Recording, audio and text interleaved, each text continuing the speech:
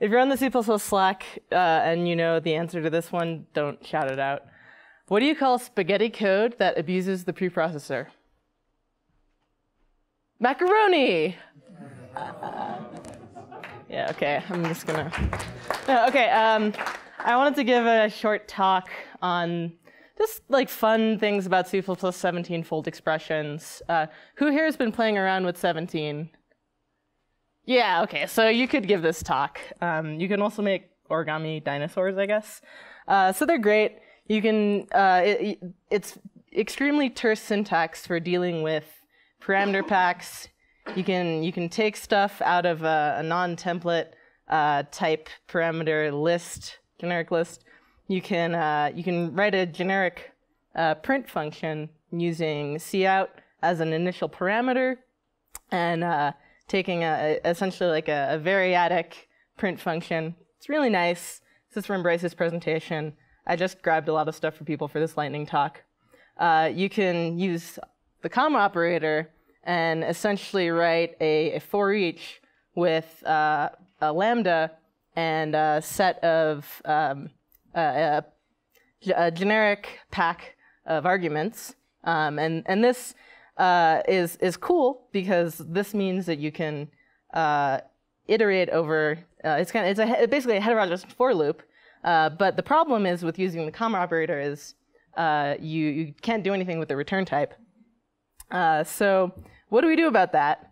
well, Barry Revzin is coming up again. He answered this question on Stack Overflow the really awesome one-liner, or I guess you know a few liners, but essentially, you know, reduces to a one-liner. Or if you take a, uh, the f is a callable, the, yeah, noexcept correctness, and here, whatever is out the window, this is for like tiny slides we're optimizing here. But uh, you can accumulate a return value over f, um, and you're essentially using f as your binary operator, but f is actually, can be any, um, any uh, uh callable with arity 2. Um, this is this is starting to look like really cool. Like we're kind of implementing folds where we're using the result of a, a thing. But there's a huge problem with this, which is that uh, the result of your uh, intermediate operations has to have a uniform type.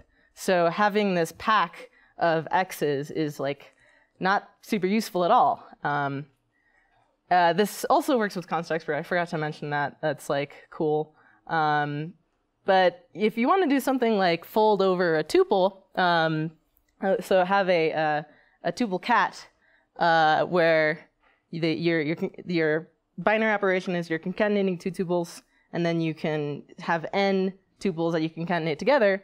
You can't do this with this previous solution because the tuples all have a different type. It doesn't compile. It gives a really weird error message too that like makes no sense. So maybe I should report a bug.